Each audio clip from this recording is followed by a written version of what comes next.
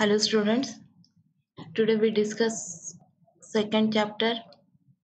In that we discuss the attributes. In a previous lecture we discussed the entities, then uh, types of entities, the difference between the strong entities and weak entities that we are discussing in a previous lecture. Now we discuss the attributes Attributes is nothing but the properties of an entity.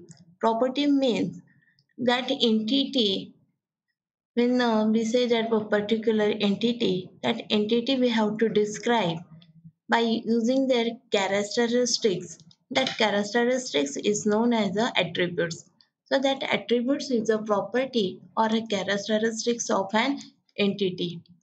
An entity may contain uh, any number of attributes an entity may contain a number of attributes. These attributes, uh, for the describing the entity, they have the number of their own properties. One of the attribute is considered as the primary key.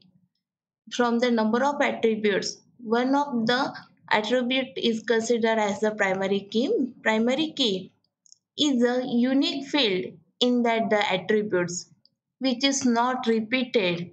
So that that attributes those attributes which has the unique value that values are not repeated such types of the attributes is the primary key.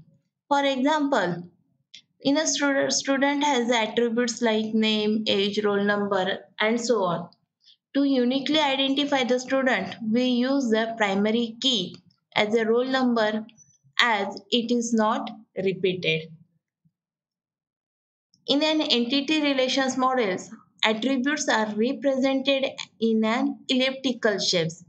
Right? In an ellipse, elliptical shapes that the attributes are represented. The types of attributes, there are total six types of the attributes. First one is a simple attribute. Second one is a composite attribute. Third one is a multi-valued attribute. Fourth one is a derived attribute. Fifth one is a null attribute and sixth one is a key attributes. All these attributes we discuss with the example. First of all, we discuss the simple attributes.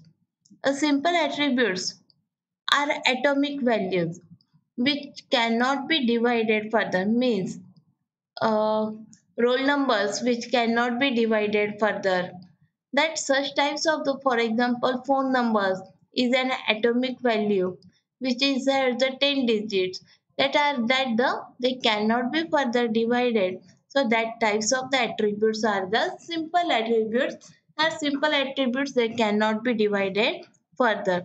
In this example students have the roll number.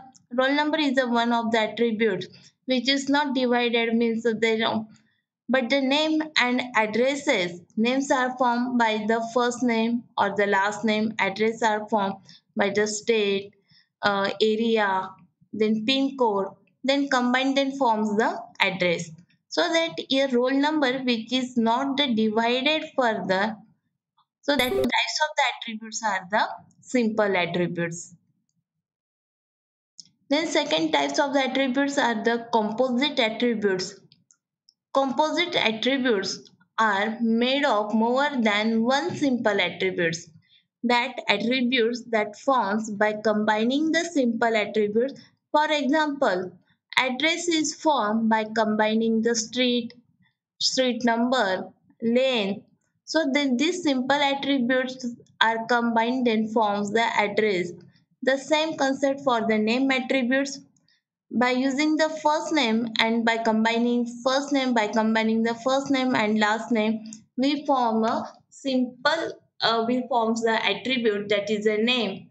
That is the name here the attributes address and name are the composite attributes.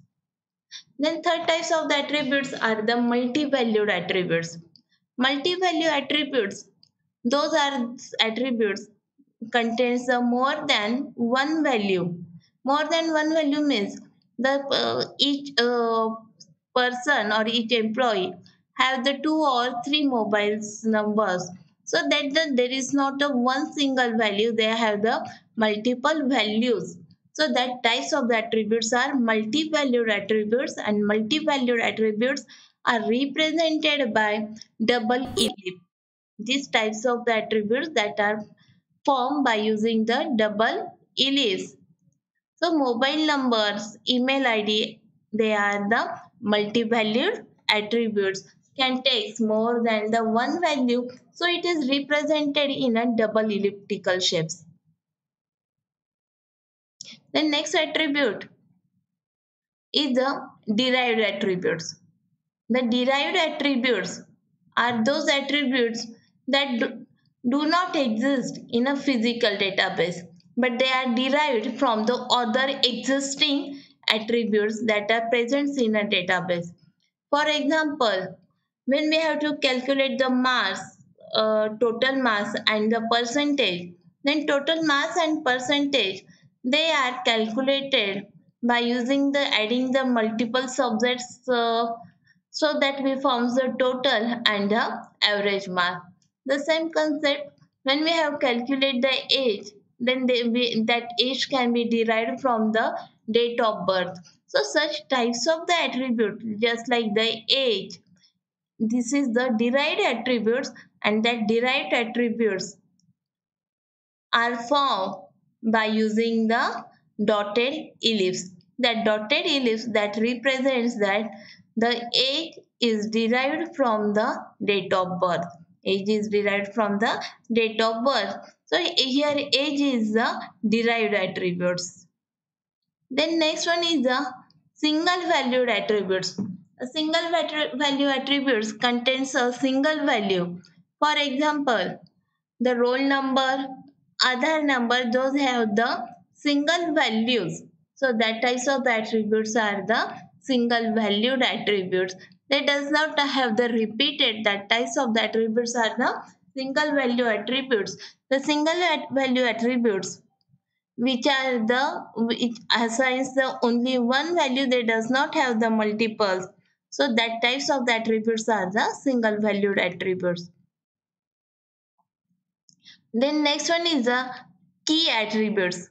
Key attributes are those attributes those uniquely identify the each entity in the entity set called as the key attributes. For example, here roll number will be the unique for each student so that the roll number is the key attributes and which are represented by the underline by that that attributes are represented by the underline here roll numbers are mentioned by giving the underline so that types of the attributes are the key attributes and the last one is that the null attributes a null attributes the attributes without any value is called as the null attributes. For example, some of the employees they does not have the landline numbers. They have only the mobiles number. So that the landline number field will be the null. So that does not contains any value. That types of the attributes are the null valued attributes. Today, thank you. Today we stop here.